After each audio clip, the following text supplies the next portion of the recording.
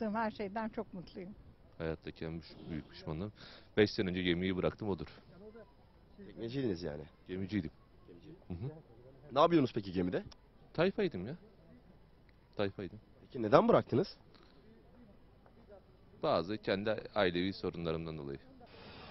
Pişmanlığım nasıl diyeyim?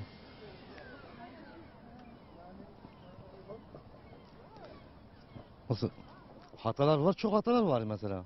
Ama tam olarak bilmiyorum yani. Aklıma gelmiyor. Yani çok hatanız var diyorsunuz ama aklıma gelmiyor diyorsunuz. Evet.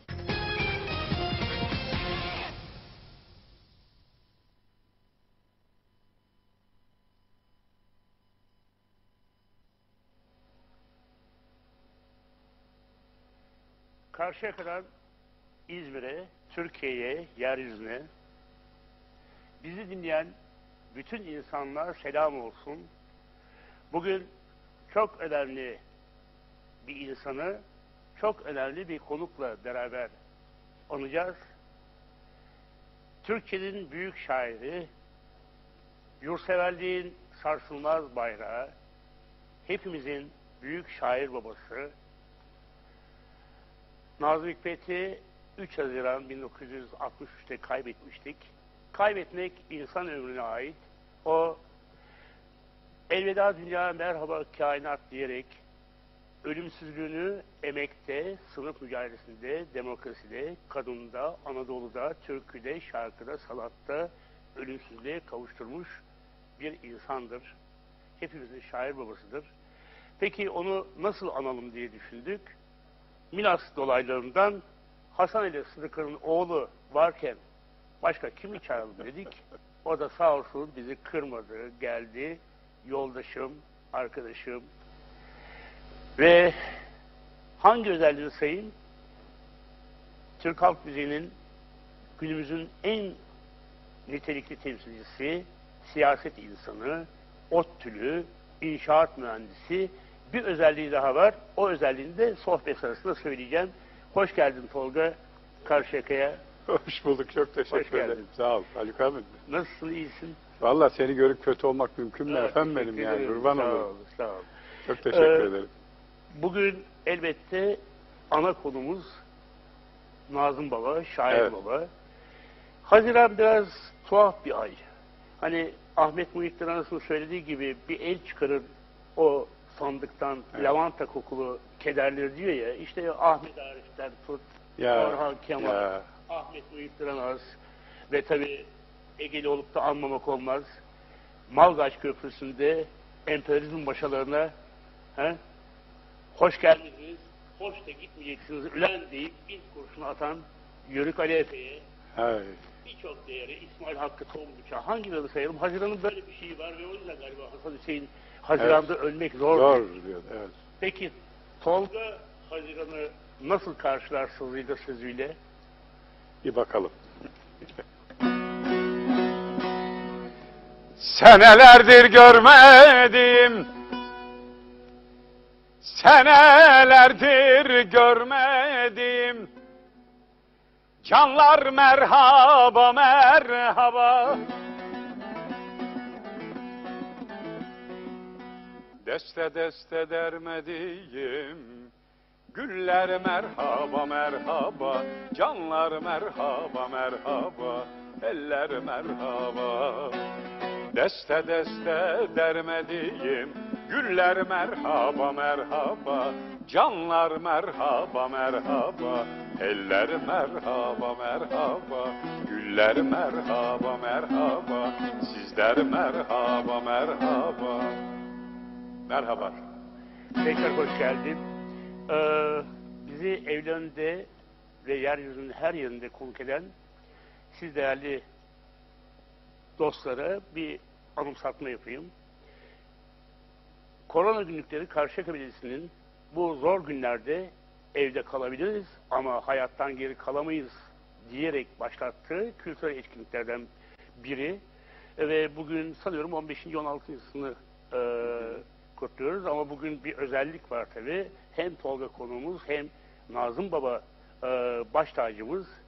Öyle olunca biz de onu İzmir'in Türkiye'nin en önemli kültür sanat mekanlarından e, Karşıyaka Belediyesi Hikmet Şimşek Kültür Merkezi'nden canlı olarak sunuyoruz. Ve bunu yaparken de aynı zamanda Uyur isminden TV35 kentimizin seçkin e, televizyon kanallarından birinin de naklen yayınıyla daha da ulaşılabilirliğimizi çoğaltıyoruz. Şimdi bütün bu niteliklerin yanında Tolga ben ne zaman seninle konuşsam, seninle karşılaşsam aklıma Antoine de Saint-Exupéry geliyor. Küçük Prens'in yazarı. Evet. Neden geliyor? Şimdi seyircilerimiz şey yapar, e, yoldaşlar yani ne alaka var bilirler. Efendim İle Küçük Prens'in o olağanüstü yapıtının yazarıyla Tolga'nın ortak noktası ikisi de pilot. Ha, Bunun evet. hikayesini e, Exupéry'nin işte Küçük Prens'in yanı sıra savaş pilotunu falan e, çok değerli yapıtını e, okuyabilirsiniz. Tolga'nın da zaten yaşam yürüyüşünü, sanat yürüyüşünü zaten tanıyoruz ve onur duyuyoruz. E, yanılmıyorsam ODTÜ Evet, e, greve giriyor. E, sözün sahibi buradayken ben niye anlatıyorum? Tolga anlatsın. Ya o, Nedir bu farklı, pilotluk? farklı bir şey. Ee, biz, biz şimdi şöyle, e, bizler Haluk abi biliyorsunuz yoksul aile çocuklarıyız. Bizim e, düşlerimiz de ona göreydi. Yani yoksul aile çocuklarının düşleri genellikle e, asker olmak üzerinedir. Benim ailemde de iki tane çok ciddi yani e, çok bir- birinci derece akraba amcam ve e, dayım olmak üzere iki asker vardı. Biri kara kuvvetlerinden, biri hava kuvvetlerinden. Ee, evde yetişen asubayları saymıyorum bile. Bizim ev bir okul gibi. Annem annemin tezgahından geçmiştir hepsi. O hevesle ben pilot olacağım diye yetiştim. Ee, harp okul sınavlarına işte ODTÜ, ODTÜ'ye gittim önce. Harp okul sınavlarını kazandım. ODTÜ boykottayken Hasan Tan boykotu 9 aylık boykotta Cuma havasına geldim. Ee, harp okulunu kazandım sınavları. Cuma havasında da e, tek 1 diye tek pırpır bir uçak. Ondan e, bir süre e, onlarla uçtuk. E, Selahattin Onan değerli hocam izliyorsa saygıyla e, selamlıyorum kendisini. E, Selahattin hocam da benim uçuş hocamdı tek 41'deyken. E, benim devreler 82 oldu. Yani mezuniyetleri 82'liler. 82'li oluyoruz. E, Arkadaşlarım da beni bırakmadılar. Ben onları bırakmadım. Biz hiç kopmadık. Zaman zaman bir araya geliriz, görüşürüz, sohbet ederiz falan ama eee, çok da duygusal eee, bağlarımız var. Tabii bir sürü arkadaşımız maalesef şehit oldular. Bunlardan bir tanesi de 29 Mayıs çok yakın eee, Halit Ekermen. Halit kardeşim, arkadaşım bizim 82'lidir. Eee, onlar tabii eee, şehit oldular maalesef Eee, ama dediğimiz gibi eee, biz zaman zaman buluşup bir araya geliyoruz falan ama sonuçta ben eee ODTÜ'ye karar kıldım. Eee, yani bana çok eee, gözlerde bir sıkıntı vardı. Yani pilot olamadıktan sonra ben Harbuk'unda kalmayayım gerekçesiyle ODTÜ'ye gittim. 8-10 sorti yaptın ama değil mi? Yaptım yaptım tabii tek 41'de uçtum ben. Ee, 9 ya da 10 sorti emin değilim. Ee, hatta daha sonra da biz Ankara'da mesela bir özel hava yolu e, bizim hemşerilerimiz Milas'tık arkadaşım vardı. Orada hocalık yapıyordu o da. Onunla beraber filan biz daha sonra da o tek Cessna'larda falan devam ettik uçuyorduk ama benim e, benim için şeydir. Ben hevesimi aldım. Ee, şimdi hiç aklımın bir tarafında Ama ama şey var, sözünü kesmek gibi olmasın. Şimdi değerli e, arkadaşlar, ben bundan 3-5 yıl önce e, İzmir'in işte bir otelinin üst katındaydık. ha evet evet evet. Tolga'yla muhabbet ediyoruz. Çok da keyifli bir e, geceydi. Tolga birdenbire bir dakika dedi, vites düşürdü dedi. Şu anda bir şeyler yaptı dedi, bir şeyler anlatıyor. Anlattığı yukarıdan geçen bir yolcu uçağında o sırada pilotun ne yaptığını bana anlatıyordu. Ve o yüzden pilotlukta ama hepsinin Gaz, evet. hem o e, Din- duyunca anlıyorsun Evet, zaten kesin. gaz kestiğini ne e, yaptığını. sen anlıyorsun. Yaptı. Yani Evet, bana evet, türkü kadar. söylese iyi ki. Peki bu- bunun dışında e, tabii senin sadece inşaat mühendisliği ya da pilotluk değil, e, ODTÜ tiyatro topluluğunda, Tiyatro. evet, Otto oyuncuları. ODTÜ, ODTÜ oyuncularında e, başlayan, sonra hatta Türk halk Türk edebiyat Halk Bilimleri Topluluğu topluluğunda, evet orada Biz tabii yapan- bağlama, ben e, e, Haluk abi, e, e, ortaokul e, bitirme hediyesi olarak babam almıştı bağlamayı. Neşet Ertaş türküleri çalmak şartıyla. Ha. Babam Neşet Ertaş hastasıydı. E, biz Benim ilk çaldığım türkü de o, o- o- odur ya sene. Karadır bu baktım kara. Nasıldı o? E, ben karadır bu baktım kara diye. Onu ilk çaldığımız türkülerden bir tanesidir. Hayır nasıldı o derken acaba Yok sazla yok yok. olmadı Ben mı? yemem o şeyi. Gaza getiren. Sonra e, işte o dönem biraz da şey var tabii rock gençliğin verdiği gitar alındı, bir şeyler alındı. Ama benim asıl e, bağlamanın ne olduğunu ben ODTÜ'de öğrendim. Türk Halk Günleri topluluğunda. O zaman e, Türk Halk Günleri topluluğuna ilk gittiğimizde Nida Tüfekçi bizim koro hocamızdı. Daha sonra Nida abi bıraktığı yerine Mehmet Ali Gürsoy geldi. Biz Mehmet Ali hocamla çalıştık. Yani bunun bir ilminin olduğunu, bilimsel bir teknik çalışması şeyin olduğunu bir biz onlardan öğrendik. Ben ne bileyim biz alıyorsun kulağından çalıyorsun öyle bir şey yapan bir şey yok bize o zamanlar yaygın değildi. Şimdi her yerde hoca var ders alıyorsun. İmkanlar çok şey bizim zamanımızda öyle değildi. Fakat buna ben bir aşık oldum bütün hayatımı değiştirdi. Yani e, bunun e, sırtına bindim açıkçası bununla bütün dünyayı dolaştım. Her şeye sahip olduğum birçok şeye bunun sayesine türküler sayesine e, benim için yaşama biçimi türkü söylemek. Yani bir iş değil bu. Bir hayatımın e, bu en önemli seçimlerinden biridir. Mühendisliği bıraktım. Siyaseti bile ben bir daha aday olmadım mesela. Bir kere milletvekili. O bir görevdi. Benim bir borcum vardı e, Cumhuriyet Halk Partisi'ne. Çünkü ben 78'de parti Ali Dinçer beni kaydetmişti. E, bütün etkinliklere hep Cumhuriyet Halk Partisi'nin etkinliklerine gittik. Giderdi. Çağırmıyorlar bizi. Böyle bir enteresan bir durum var. Sanki Ege türküleri sadece e, bizim herkesin türküleri onlar.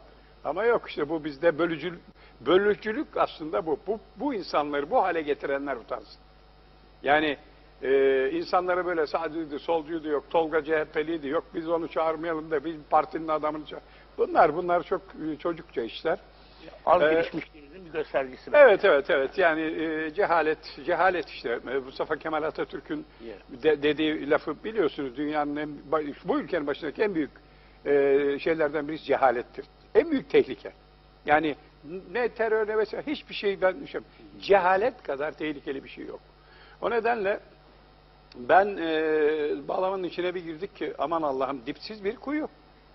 Yani Pir Sultanlardan Hacı Bektaşi Velilere kadar ne Mahsunilere hayatını vermiş. Mahsuni Şerif de biliyorsun askeri okul kökenlidir. Hayatını vermişti e, bu, bu işe. E, binlerce türkü bırakıp gitti arkasından. Ben dedim ki ben böyle yaşayacağım ya. Bu insanlar gibi onların taşıyıcısı olacağım. Halk kültürünün kuşaklar arası hamalı olacaksın. Bu işin hamallığıdır bu. Ama burada bir şey var, e, onu da söylemek gerekiyor.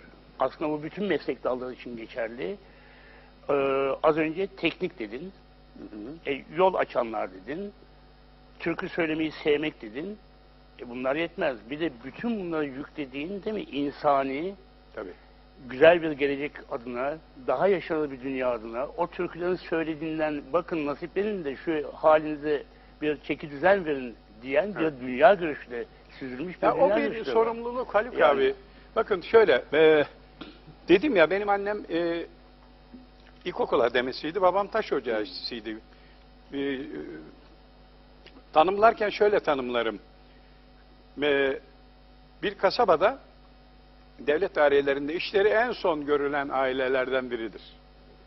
Kimsemiz yok. Yani e, kuyruğun en arkasındakileriz biz. En alttakiler dedikleri var ya şeyin e, Nurullah Ataş'ın en alttakiler. Biz onlarız, en alttakileriz.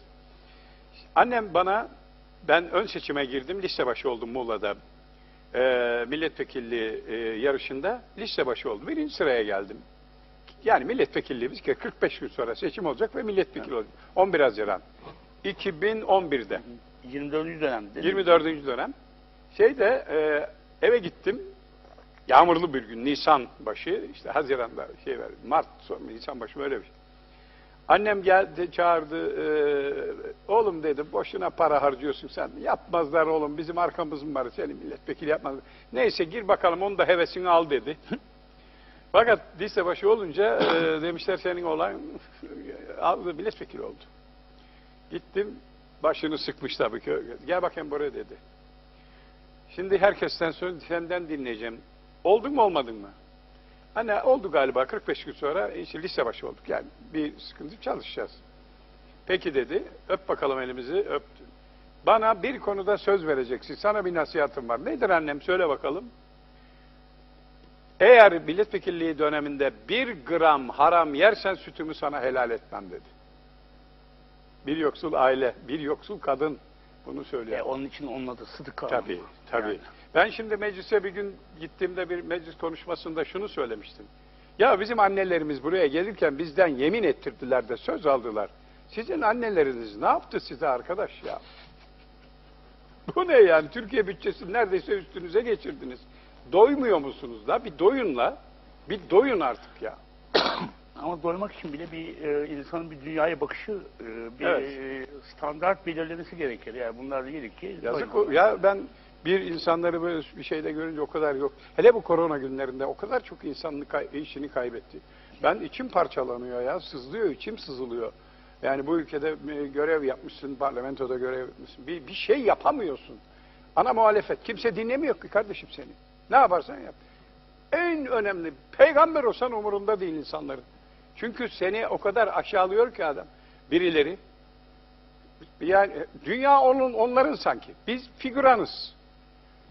Bunun adı demokrasi falan değil. Başka bir şey. Yazık günah. Yani bu ülkenin insanlarına bu ülke- benim gibi düşünmeyen, benim kaç tane insan geliyor benim her zaman Milas'ta. Ulaşamıyorlar.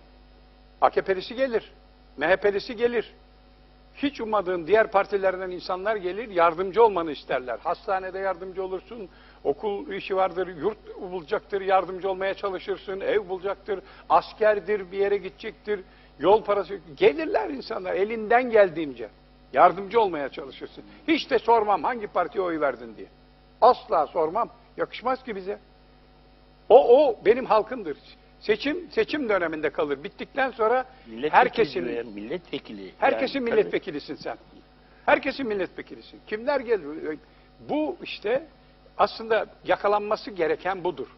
Yoksa kapıda herkes ben niye herkesin başbakanı olayım ya da ben herkesin niye herkesin bakanı olayım?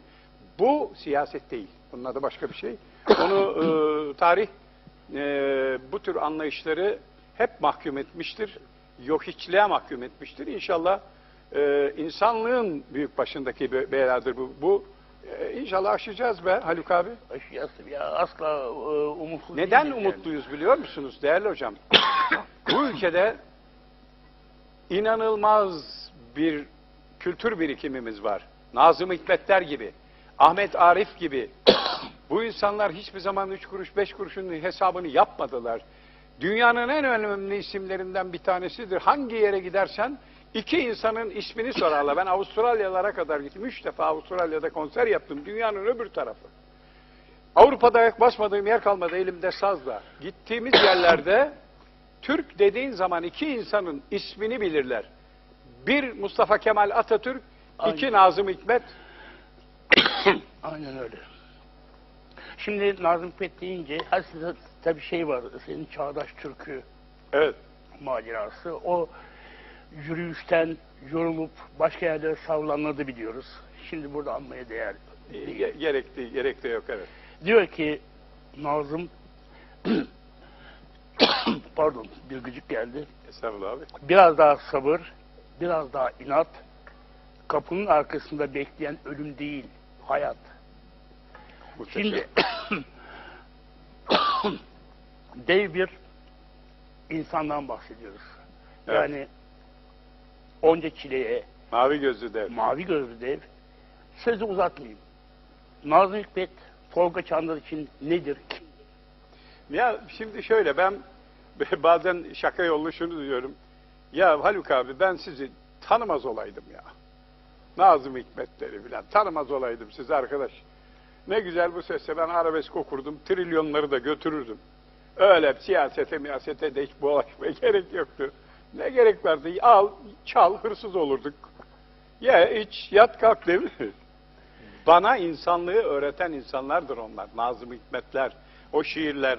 O şiirlerle büyüdük biz. Nazım Hikmet'in şiirleriyle. Baksana, aşkı anlatıyor. Biz, e, aşk kutsal bir şeydir. Asla kir- kirletilmemesi gereken bir şeydir. Ne diyor? O mavi gözlü bir devdi. Minnacık bir kadın sevdi.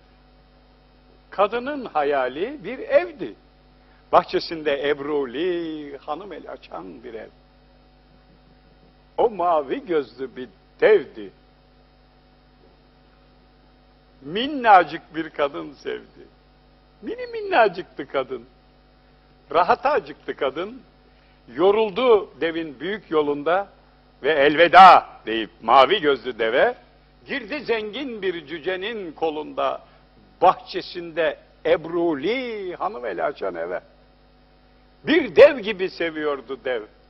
Ve elleri öylesine büyük işler için hazırlanmıştı ki devin yapamazdı yapısını, çalamazdı kapısını bahçesinde Ebruli hanım ele açan evin. Şimdi anlıyor ki mavi gözlü dev, dev gibi sevgilere mezar bile olamaz. Bahçesinde Ebruli hanım ele açan ev. Nazım ya. Yani Nazım. Nazım ve e, ağzına sağlık. Yani en güzel yorumlardan bir tanesi dinledim. Bunu iltifat olsun diye söylemiyorum. Hay abim benim sağ ol. Şimdi öyle bir e, adamdan, bir şairden, bir devden bahsediyoruz ki siz onun dünya görüşüne Evet. ne kadar düşman olursanız onun anlamadığınız halde o dünya görüşünü savunan ve mavi gözlü devin peşinde giden insanlara, sınıflara, gençlere ne kadar düşman olursanız olun Evet. hayat Nazım'ın yazdığı gibidir. Gün gelir derdinizi ancak ve ancak Nazım Hikmet'le anlatabilirsiniz. evet. Birilerinin de başına geldi bu zaten. Yani bu bu kadar basittir. O yüzden ben hep şey diyorum yani kasmayın kendinizi. Kasmayın. Az önce söylediğim gibi onu bunu paketlemeyin. Ayrıştırmayın. Ötekileştirmeyin. Bölge, ırk, din, Haluk abi insan ömrü çok kısa. Aynen Nazım ol ya. Hiç çok kısa. Birbirine düşman et, edilmemesi gerekecek kadar kısa. Düşmanlığa bile vaktimiz olmaması lazım bizim. Tabii. Ben türkü söyleyeceğim. Aynen arkadaş. öyle. Vallahi doldurdun beni gene.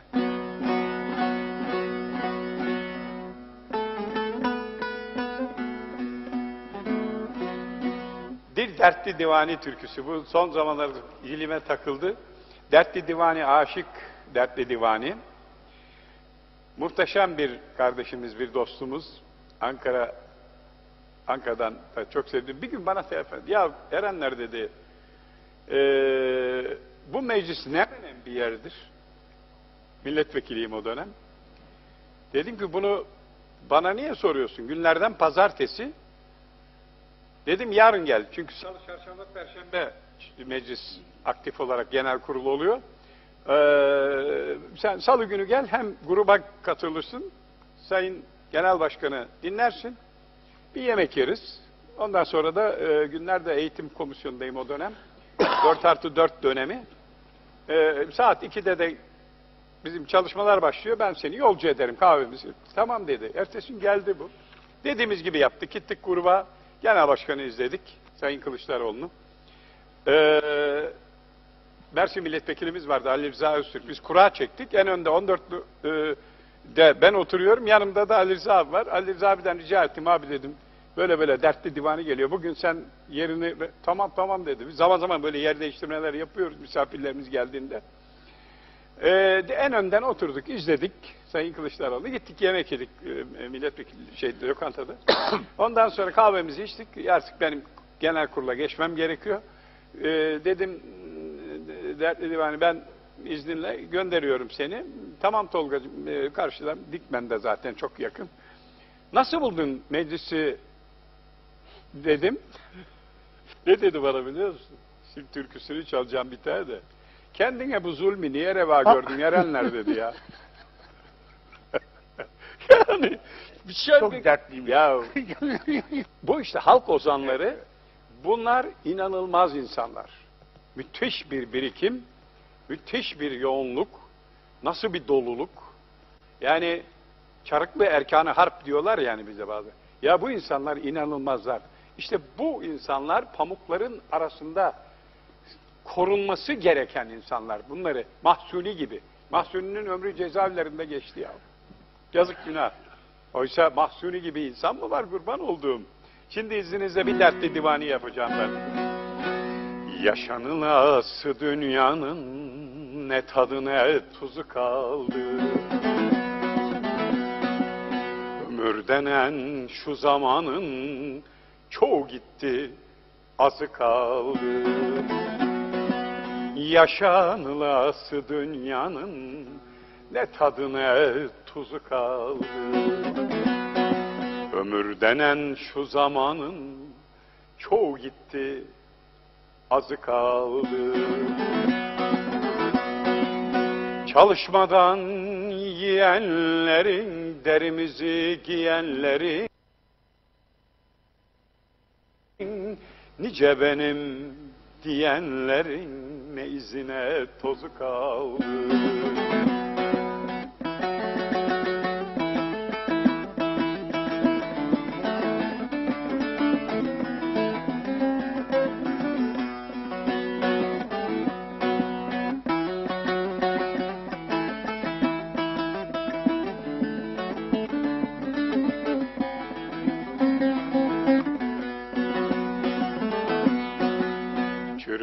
Kökçe yırtık taban, kurdu kuşu ettik çoban. Gariban daha gariban, ne çulu ne bezi kaldı. Çürük ökçe yırtık taban, kurdu kuşu ettik çoban. Gariban daha gariban, ne çulu ne bezi kaldı. Dertli divanenin varı, canandır canın öz yarı. Geçti bu ömrün baharı, ne yazı ne güzü kaldı. Dertli divanenin varı, canandır canın öz yarı. Geçti bu ömrün baharı, ne yazı ne güzü kaldı. Şimdi sen dertliyi böyle dillendirirken e, olağanüstü tabii olağanüstü. Aklıma şey geldi. e, hiçbir şey gideremez iç sıkıntımı. Memleketimin şarkıları ve tütünü kadar diyor Nazım Hikmet. Ya. Şimdi e, hani bu- bugün Nazım'ı anıyoruz ve Nazım asla kederle, üzüntüyle anılmaz. Tabii Evet. ki çok zamansız, hak etmediği acılarla, hak etmediği işlemlerle hiçbirinin esamesi okunmuyor.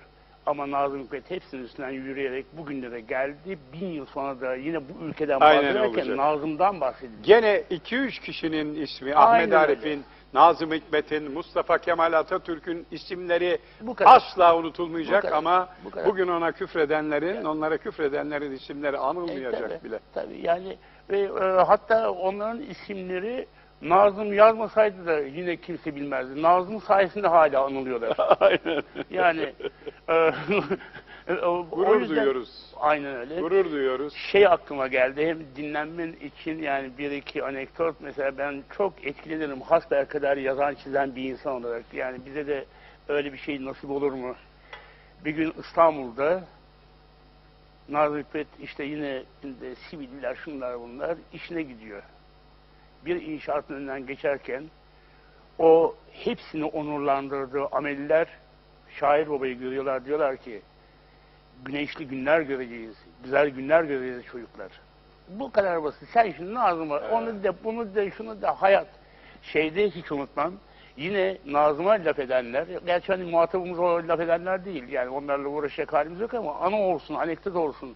Hiç olmazsa iki üç gencimize kapı açarız diye Kurtuluş Savaşı'nın Şimdi vatan haini diyorlar ya Nazım Hikmet. Evet, evet, evet. Kurtuluş Savaşı'nın en önemli çağrı mektuplarından biri olan şiiri Vala Nurettin'le Nazım Hikmet'in yazdığını bilmiyorlar. Unutturuyorlar. Ya. Kurtuluş On- Savaşı destanı. Ondan vazgeçtim. Dünyanın en onurlu ulusal halk direnişinin destanını Nazım Hikmet yazmıştır. O yazmasa 2-3 tane menkıbeden başka elinizde bir şey kalmayacak. Ya. Şeyh Bedrettin'i o yazmasaydı bugün unutturmak için elinden Evet. gelen sistem başarılı olurdu. Yani o Evet. yüzden e, şeyi hiç unutmam. E, bir de onu anlatıvereyim. Yani Nazım Hikmet tabii tabii. hasbelkader hayatını yazmış ve haset Muhabbet, oyunda. muhabbet edip dururuz öyle. Şeyde e, diyorlar ki bu yazdıkları şiir o kadar çok infial yaratıyor ki sonunda şiiri kesiyorlar yayınlamayı. Çünkü herkes Ankara'ya koşturmaya kalkıyor. O vatan haini Nazım Hikmet'in Kurtuluş Savaşı'nın çağrı şiirine. Evet. Neyse Mustafa Kemal'le tanıştıracaklar. Gidiyorlar. Ben bunu oyununda da yazmıştım.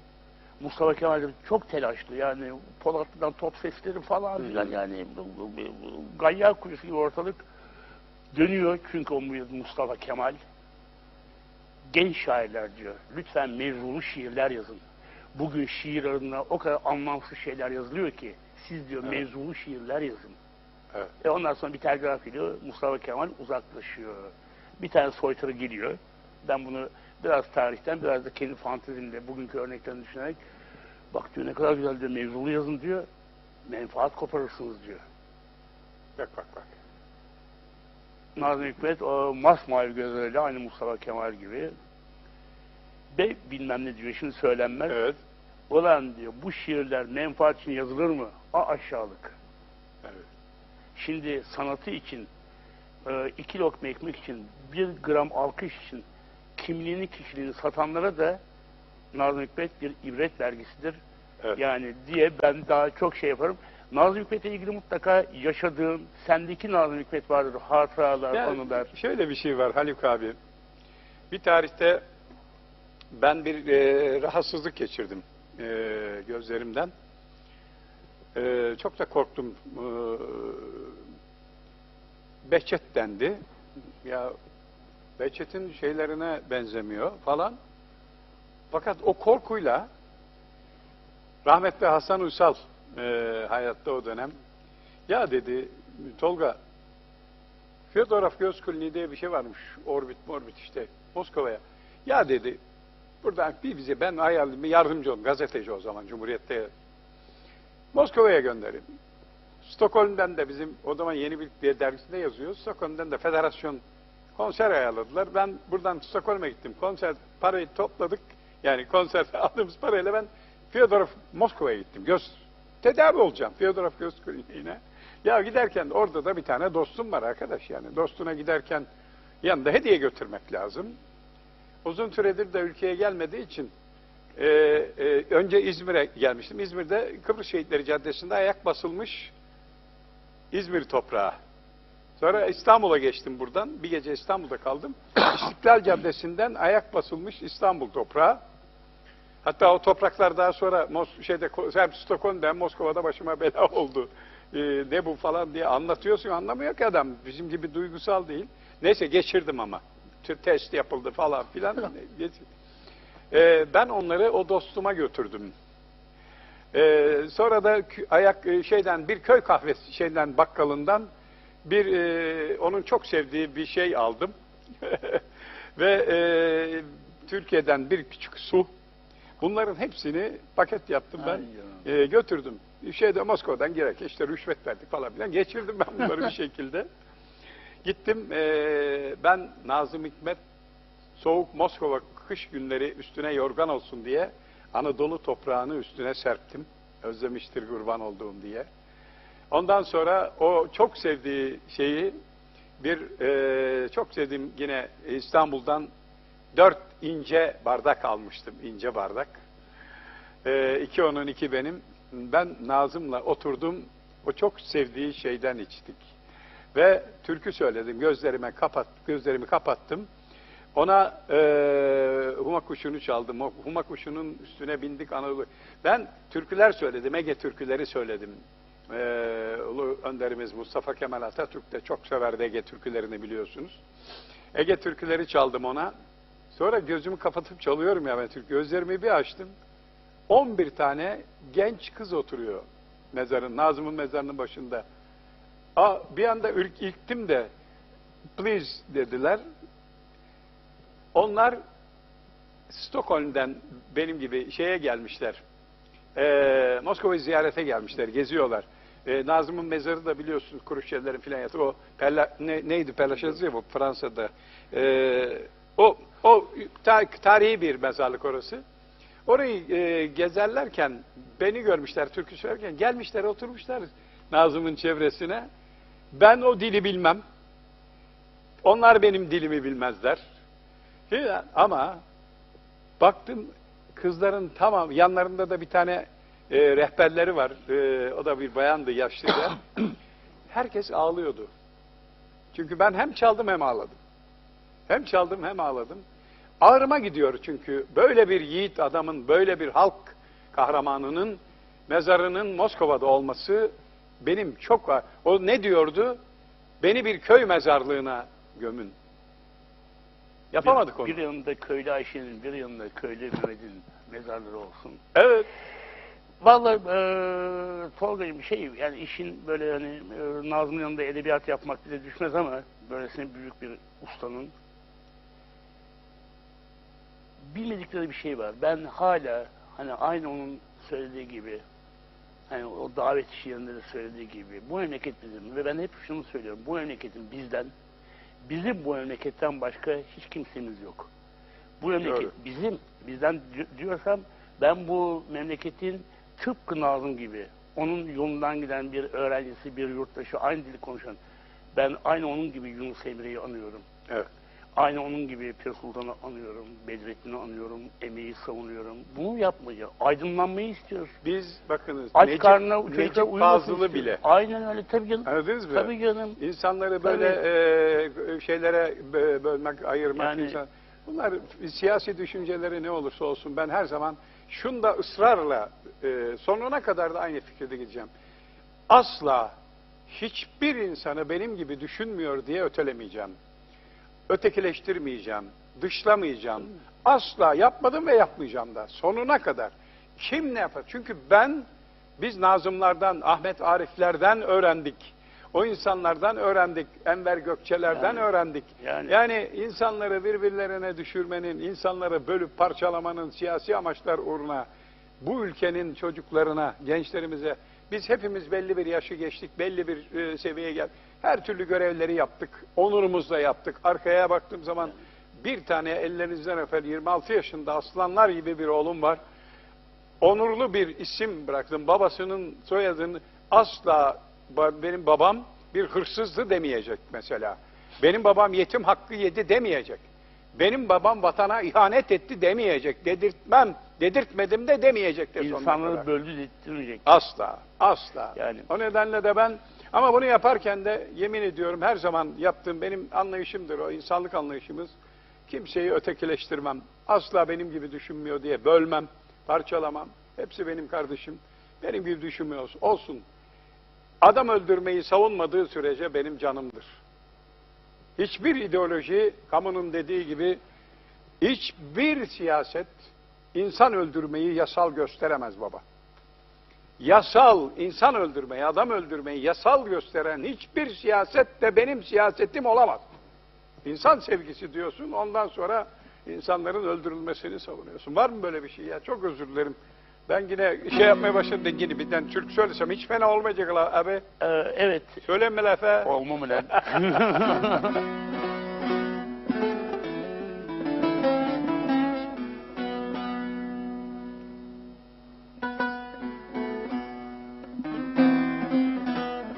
Mahsuni'ye gireceğim bir tane de. Deminden beri anıyoruz, anıyoruz. Onun bize bıraktığı çok güzel bir vatan haini diyorlardı ya. Sana hasret, sana vurgun gönlümüz. Neredesin mavi gözlüm? Nerede? Nerede? Neredesin dost? Bu gemi bu Karadeniz. Sarı saçlım mavi gözlüm. Nerede? Nerede? Neredesin dost? Bu gemi bu Karadeniz. Sarı saçlım mavi gözlüm. Sarı saçlım mavi gözlüm. Nerede, nerede, neredesin dost?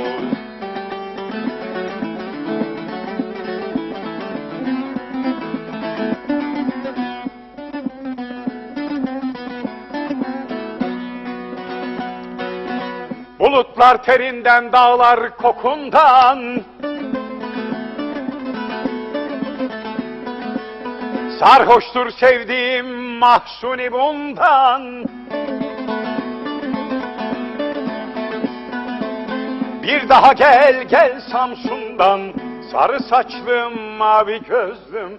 Nerede, nerede, neredesin dost? Bir daha gel gel Samsun'dan. Sarı saçlım mavi gözlüm. Sarı saçlım mavi gözlüm. Nerede, nerede, neredesin dost Bu bir yaşam zinciridir sevgili dostlar. Bu bir değerler eklenmesidir. Bu Nazım'ın Kocatepe'deki Atatürk'ü anlatmasıyla Mahsuni'nin neredesin dost diye araması arasındaki doluluk kadardır. Eğer bu doluluğu biz Evet. farkına varmazsak bu türküler, bu şiirler sıradanlaşır, ucuzlar. Tıpkı yani yine Nazım'a bağlayacağım izninle Tolga'cığım. Yani koskoca bir dünya şairinden siz Casanova, Don Juan yaratamazsınız. Sakın.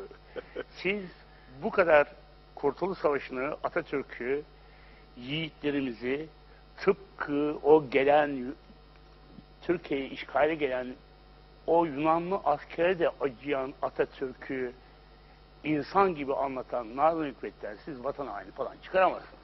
Mümkün. Zorlamayın. Yani bırakın keyfini sürün. Sevgilinize Nazım'dan bir şiir okuyun. Ne bileyim işte sendikanıza sendika ol, sınıf ol deyip ondan bir şiir okuyun. Beğenmediklerinize değil mi? Nazım, Nazım olun ya. Nazım olun yani. Ee, değmez. Bak Değmez. bir şey daha anlatabilir miyim? Şerem Tabii. düştü ama. Sevgili İlyas'ı da anmış olalım. İlyas Salman, can dostum, yürekli dostum. Biz eee 2 Haziran 1991'de eee, Avrupa'dan turne bitti. Biz Avustralya'ya gidiyoruz. Musa Eroğlu vardı. O Paris'e gidiyor. Arif abi Türkiye'ye dönüyor falan Arif'sa. İlyas'la biz de Frankfurt'tan çıkacağız. Singapur, Singapur, Avustralya'ya. Fakat bir gün önce Ali Asker'in dayısının evinde Mannheim'da bir haber aldık. Ee, Ali Asker'i ben görüyorum. Ah dedi mutfağa gitti. Çaktırmadan ben de geçtim. Ben görüyorum. Ali ne oldu? Ali bir taraftan gözleri yaşlı. Ali ne oldu söyle lütfen. Rica ediyorum. Tolga da gözünü seveyim İlyas'a e, hissettirmiyorum. Gitmez çünkü Avustralya'ya. Türkiye cenazeye. Ahmet Arif'i kaybetmişiz dedi. Allah! Biz o gün Frankfurt'tan çıktık. 12.660 metrede Ank İstanbul, İstanbul, Ankara üzerinden saat bir buçuk, bir, biri on geçe. Ankara'nın üzerinden geçiyoruz aşağıda Ahmet Arif'in cenazesi kalkıyor. Biz 12,5 kilometre yukarıdayız. Ben tutamıyorum kendimi. Anadolu'yum ben tanıyor musun? Utanırım, utanırım fukaralıktan. Ele güne karşı çıplak, ele güne karşı. O şiiri okuyorum ben Anadolu, şiiri dilimde.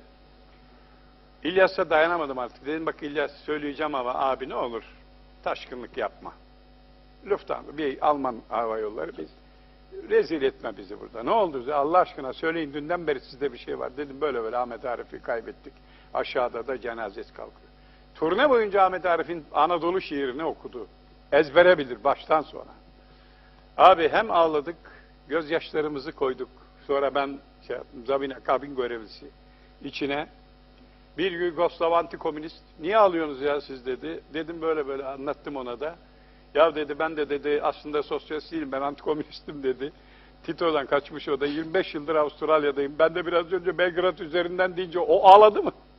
Hadi Japon iş adamı ağlar. Biz abi kabin, en arka kabinde koca 747'de zırıl zırıl ağlıyoruz. Gözyaşlarımızı doldurduk içine. Zamine'ye dedim ki git bunları at buzluğa ya. Donsun. Ya kız sen Onu unuttum ben sonra. Bir buçuk ay falan Avustralya'da turne bitti. Getir, geldik Türkiye'ye.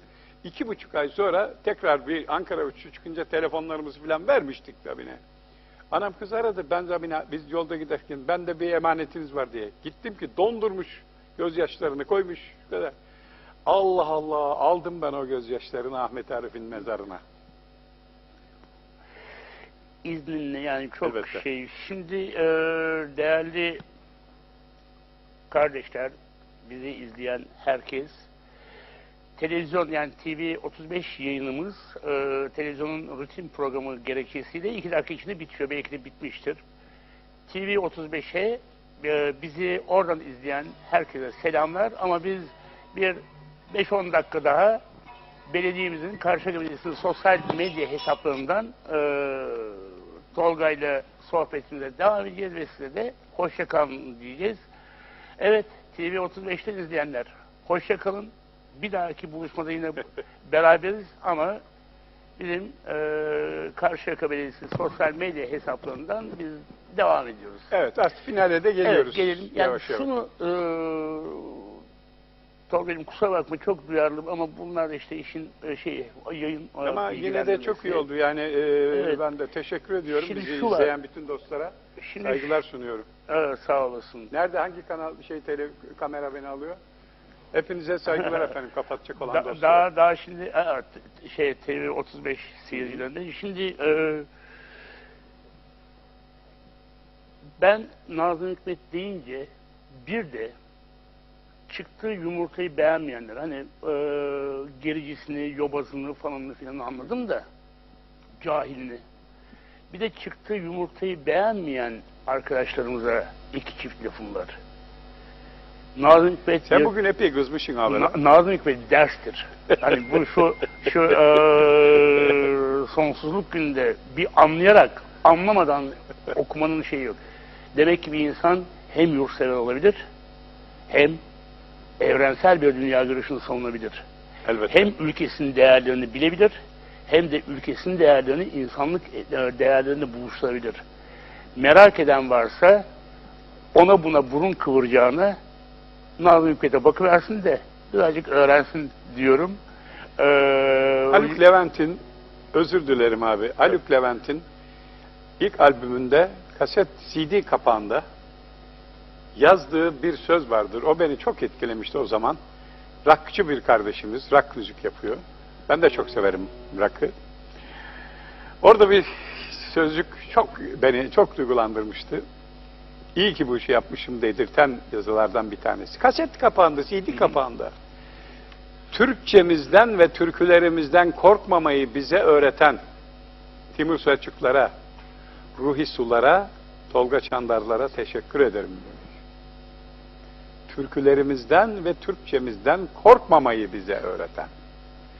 Ya nasıl bir engin dünya görüşüdür ki bizim üstün zekalı insanlarımızın hepsi, başta Mustafa Kemal olmak üzere, Türk Dil Kurumu'nu kurmuş.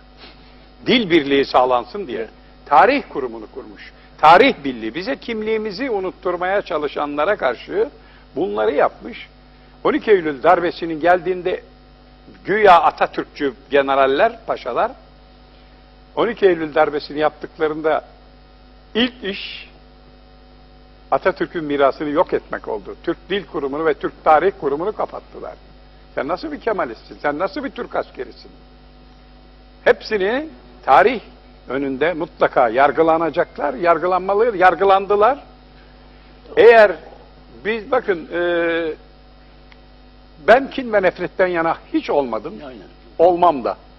Ama bağımsız yargı yargılanmayı hak edenler için harekete geçecek bir gün. Mutlaka. Mutlaka. Evet. Bu nedenle ben her zaman güvendim. Bu halka bakınız Anadolu'nun bütün insanlarına bu kültürü almış olan herkese o kadar çok güvendim ki hala daha güveniyorum ve güvenmeye de devam edeceğim sonuna kadar. Çünkü o insanların altyapılarında Hacı Bektaş Veli gibi, Pir Sultan gibi, Yunus Emre gibi, Karacaoğlan gibi, Dadaloğlu gibi, Mustafa Kemal Atatürk gibi yiğit insanlar var. Böyle bir fark. Ya vatandaşın birisi bir kitap yazıyor. Alparslan 1071'de Malazgirt'ten içeri girerken bir Osmanlı sultanı mektup yazıyor kendisine. Mektup şöyle başlıyor. Pis Türk. O insanın adını köprülere, şuralara, buralara veriyorlar. Ve Anadolu'da Türkmen kıyımı yapan bir insanın ismi bu. Şimdi bana bunu kim anlatabilir? Kim anlatabilir?